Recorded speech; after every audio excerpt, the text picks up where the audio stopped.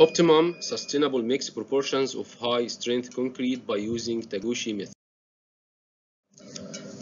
In this study, 27 different mixes were produced according to high strength concrete criteria. The experimental work were designed, was designed that the experiments gave the best possible work conditions of the parameter that affect the mechanical properties using the Taguchi method. In this research, 40 to 84 megapascal compressive strength concrete samples were produced and tested at different ages according to the high strength concrete properties. Also splitting tensile strength at 28 days flexural strength production cost and the slump were considered. The experimental results were analyzed according to the Taguchi method using Taguchi method mixed proportions were set to be best possible levels for the maximization of compressive tensile splitting tensile flexural strengths and the slump results and the minimization of the production costs. Taguchi method reduced the number of trials by design of the experiment. The number of possible trials for parameter at L level as per factorial method design is N equal LB, where L is the number of levels for each factor and B the number of factor involved. With this method, which can be applied easily by the researchers, the, resu the results obtained are possible to be standardized. Standard table known as orthogonal array are used for the design of the experiments in the Taguchi method. This orthogonal array is particular design with the symbol of L27. Each row in the array represents a trial condition with the factor levels which are indicated by the number in the row.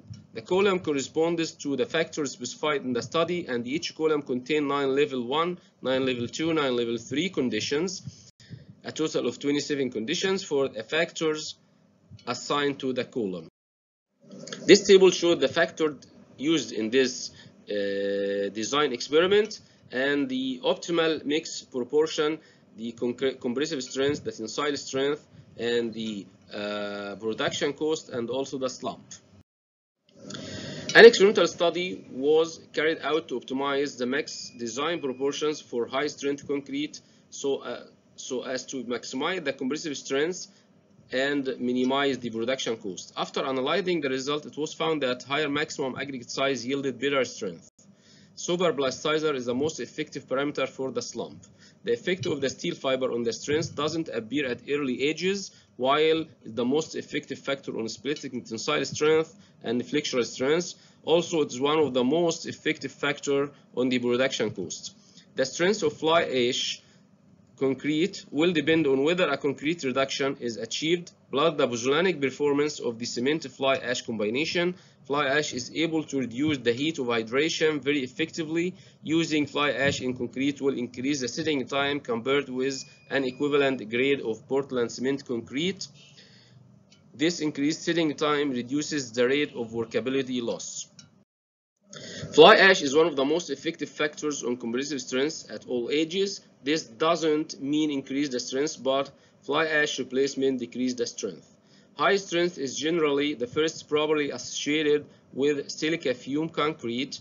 An increase in the compressive strength using silica fume will result in similar relative increase in the tensile strength and flexural strength. This plays a strong role with when silica, silica fume concrete is used in flooring, bridging, or roadway projects.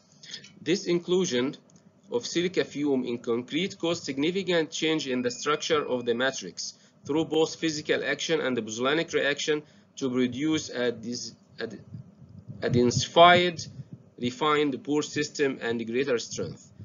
The study showed that Taguchi method can be used effectively and economically for designing and the experiments and for determining the optimization process parameters. Thank you.